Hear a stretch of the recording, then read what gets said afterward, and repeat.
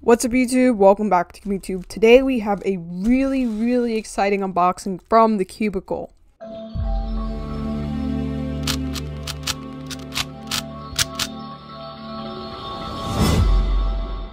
Hey everyone, this is editor Cubing Tube here. I just want to apologize for not uploading for the past few weeks. I took a little break and because of that I am a little backed up on some videos, so those videos will be coming your way over the next few weeks.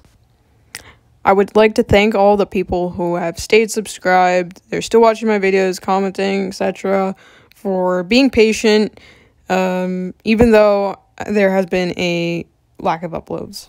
So before we get into the package at all, I am now sponsored by The Cubicle. You can use discount code PIECE OUT to get a piece out of your total at The Cubicle's checkout. Huge shout out to The Cubicle for the sponsorship and uh these cubes. Uh, so let's get straight into it.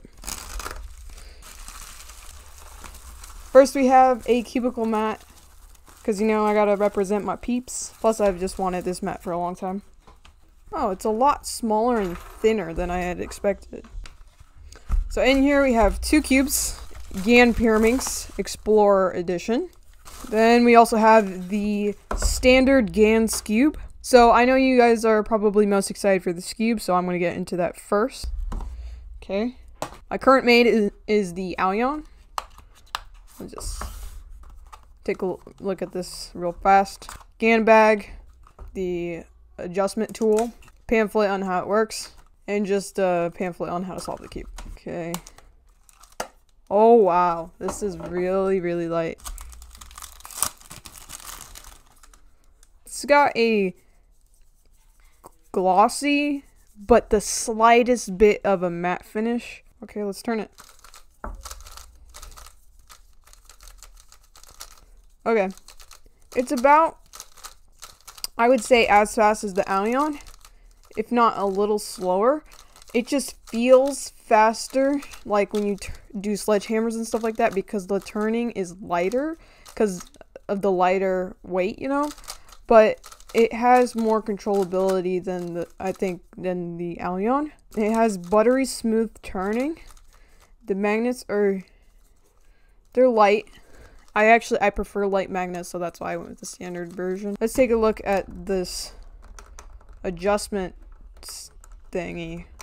I don't have any of the new GAN cubes, uh, so I'm excited to test this out. I like this system a lot because your tensions will always be even. And then, you know, you got extra nuts if you want to change the other settings.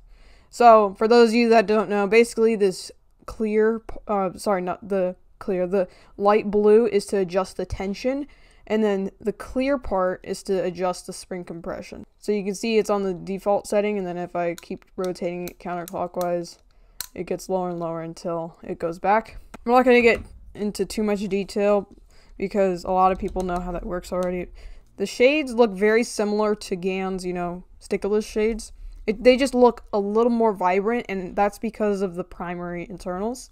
I don't feel any catching, it's just that right now my turning is a little inaccurate because I'm not used to the finish, but that should go away with some break-in. Stop corner cutting. Okay see, reverse. Pretty good. I don't think this cube is going to pop that often or at all. The cube does have a honeycomb design. Also right here, which is pretty interesting. Because this is not the enhanced version, there are no magnets in the centers or the edges, only in the core and the corners. There's the magnet on the corners, and then there's the magnet inside the core. They still provide a kind of a click but it's very, very like not noticeable, but they still help a lot with the stability, which I really like. I will come back at the end of the video and give you my final thoughts, but for now, let's just go ahead and move on to the Pyraminx. So I've been debating on whether or not I should get this Pyraminx, and now I've had the chance to get it. Um, my main right now, I don't really know what's my main. Either the Mr. M or the X-Man Bell version 1. I've heard this is not that fast, so I got the Explorer one because uh, I want to be able to change the GES just in case it's not fast enough for me. Also, lighter magnets will help, you know, make it a little faster than it would be if it had more magnets. Let's take this out. Okay, yeah, that's light. Pyraminx in, a, in plastic wrap is very interesting. Then you just get a GAN pa pamphlet and the GES nuts. Okay, that was a little weird. They have about the same finish. I think this feels a little more matte, but that could be because I, I've done more turns on this one already. It does feel a little unstable, but I don't really mind. I like how they put the GAN logo on the blue side. I think it might be slightly smaller than regular Pyraminxes. I have my other Pyraminxes here. Um, well, the ones I've used as mains. So here's the Bell V1. I've had this cube for like four years, and it still can be my main, but I kind of want a new main. Um, I sort of mentioned that in my um, Mr. M unboxing video. I like this cube a little bit, but not as much as the Bell. So I'm still hoping that this could be my main. And I also have the MoYu Magnetic Pyraminx here. But the MoYu Magnetic Pyraminx is a little bigger than regular Pyraminxes, as you can see. The GAN Pyraminx is as big as the Mr. M. I like how it feels round. It reminds me of the Bell V1 in that way. Let's turn it. Okay, that's not slow at all. You know what, maybe I'll get the enhanced one in the future. It's pretty smooth. And quiet. I think this is going to be my main. Let's test out corner cutting. Because I've heard corner cuttings, whoa, on here is pretty good. Does it lock up anywhere?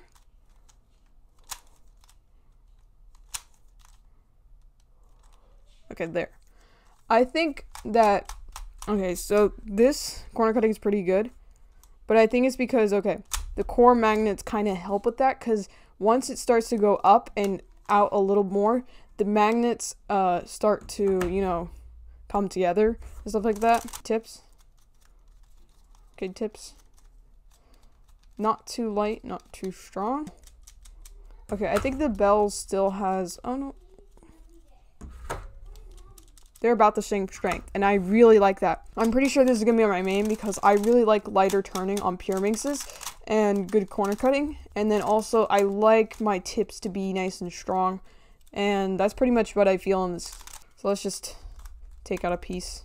Have the core magnets with the edge pieces. And there's actually no honeycomb on the edges. There is on the centers, and then there is the core magnets. Underneath there, I don't know if you can see, there's also the honeycomb design there too. Both of these cubes have the same exact shades, if you were wondering. They feel pretty similar. I feel like this cube is a little more like smooth. Uh, this has more of a smooth, crispy type of feel with a low pitch sound, which is really nice. So, I think I've spent enough time on. So, I think I spent enough time with these cubes to give you my final thoughts. So, starting off with the GAN Skewb, this was pretty much an instant main. Before we get into how it feels, it performs, and stuff like that, I'm going to show you my preferred settings. So, if you pop open the corner cap, you can see all the different customization options. So, there are 24 different combinations, I'm pretty sure on this cube. There are four different settings where the the blue part, two with the light blue nuts, and two more with the darker blue. That is just uh center distance, so just how loose or tight the cube is. So that would be like, you know, your screw. So there's six different settings for the clear part. So here's the default. Two, three, four, five, six. Wait, what? two, three, four, five, six. Oh, okay. So default two, three, four, five, six, and then seven is back to the default. I prefer mine on the fourth setting, and I like the light blue nut on setting number one. So setting number one is the tightest. The higher the number is, the looser it gets. So if I were to compare this to the Allion, it's a little faster, softer, smoother, and lighter. It is more forgiving too, so when I do my sledgehammers and stuff like that, it is a lot easier for me to complete them because I don't worry about it catching or locking up. I have not gotten any lockups on this cube, no pops. I've gotten a few catches, but you know, cube's not going to be completely perfect. Should hold it like that. The outer plastic felt really weird out of the box. It had like a slight matte finish to it. It was really weird.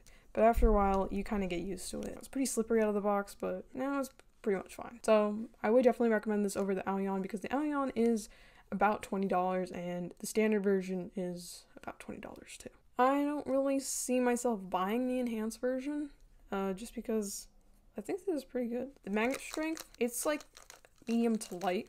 If you turn slow, you can feel the bump, but when you turn fast, you don't feel it at all, which gives it a smoother feel, which I really like. If you don't want to spend $20 on this cube, then don't buy it. Go for the wingy or something like that. So I think this is the best cube on the market. The enhanced might be better, but don't think I'll buy the enhanced. I, I'm pretty satisfied with this. So it's my main. I think you should buy it. Uh, you won't regret it. Moving on to the GAN Pyraminx. It's not as smooth as the Skewb out of the box. It has a nice soft feel and it's a little smooth. After breaking, it starts to have a more crunchy, crispy feel, as you can probably hear. I don't think it's as quiet as it was out of the box, but I don't know. It's still kind of quiet. I did already put a few drops of lube into here just because it was starting to not feel as great as I wanted it to. Keep in mind that it might need lube pretty soon. The tips are kind of hard to get off. Sometimes I can get all of them off. But I am using the yellow nuts. I honestly thought I was going to use looser GES nuts, but this cube is pretty floppy and that's because the magnets are only in the core. I don't know why. This cube feels pretty stable, but this one feels kind of floppy, so I might get the enhanced version just because uh, I like this cube. It's just, it's too flexible. So this is the strongest spring, and I have it on the tighter setting, which is 0.6. I have gotten some pretty nice times on this, but I don't think it's to be my main. I already have the Mr. M and the X-Man Bell and the, the Magnetic. Those are all really good cubes. It's just hard to pick a main. I, I go back and forth with the Bell and the Mr. M and sometimes the MoYu Magnetic. And that will probably happen with this cube too. I will like to get the Bell version too to see how they all compare. If you'd like to see a comparison on all those Pyraminxes, let me know in the comment section that was supposed to be an arrow pointing down, but I don't know if that made any sense. The corner cutting is really good on this Pyraminx. It's actually really impressive, but because of the flexibility, it really doesn't matter that much. So there is a possibility I'll get the enhanced in the future, and I don't know. We'll see. Thank you guys for watching. Be sure to like and subscribe for more videos. Let me know what you want to see next in the comment section down below. Huge thanks to the Cubicle for sending these cubes to me and, and the mat. See you guys next time.